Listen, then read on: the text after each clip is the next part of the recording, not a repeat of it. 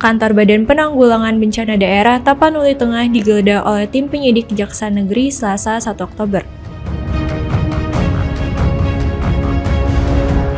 Penggeledahan dilakukan setelah adanya temuan Badan Pemeriksaan Keuangan terkait dugaan korupsi senilai 1,8 miliar rupiah.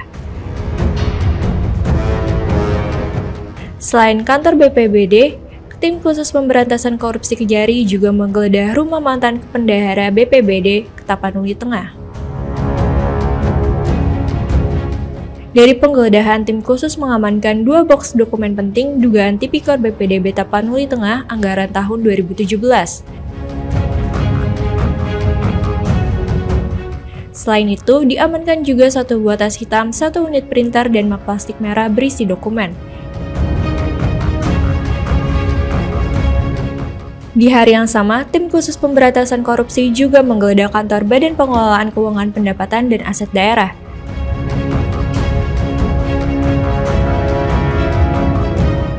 Kasih Intel Kejari Siboga, Dedi Saragi mengatakan belum ada tersangka yang ditetapkan tapi sudah memeriksa beberapa saksi.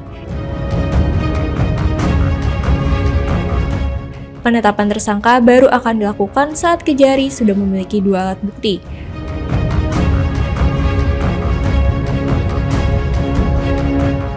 penggeledahan hari ini terkait kasus apa tuh bang? Baik, terima kasih rekan-rekan. Uh, benar, hari ini tim penyidik dari Kejaksaan Negeri Suboga telah melakukan penggeledahan di tiga titik itu terkait dengan uh, dugaan tidak pidana korupsi di BPBD Kabupaten Kabupaten Tengah tahun anggaran 2017. Seperti apa kasusnya itu bang? Uh, Korupsi. Ada sebenarnya kita berangkat dari awal BPK temuan senilai 1,8 miliar kurang lebih kemudian melakukan pengembangan pemeriksaan mengambil saksi dan hingga sampai hari ini kita penggeledahan untuk mencari alat bukti yang berbeda. Dari sejak kapan udah ditangani kasusnya? Uh, kurang lebih dari awal bulan bulan Agustus bulan Agustus 2017. Penyalahan anggaran apa ini dilakukan bang dalam Uh, kasus dana rutin ya, dana rutin uh, di di BPBD tahun 2017. Melibatkan siapa aja dalam kasus ini bang? Uh, dalam hal ini belum bisa kita sampaikan ya, karena kita belum melakukan tersangka bahwa sampai hari ini masih diperiksa saksi-saksi mereka akan tahu tersebut. Tadi kegiatan eh, ini berapa titik bang? Penggeledahan di mana aja? Kita melakukan tiga titik penggeledahan sesuai dengan penetapan dari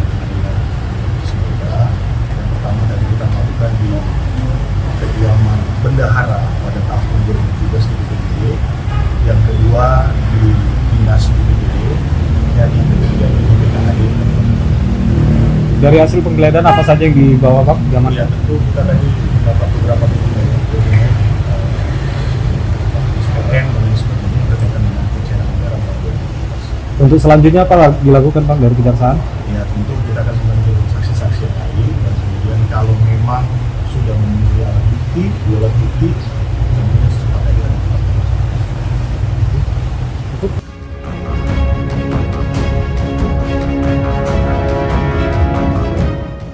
Penanganan kasus dugaan korupsi di BPDB Tapanuli Tengah baru dimulai pada awal Agustus 2024 lalu.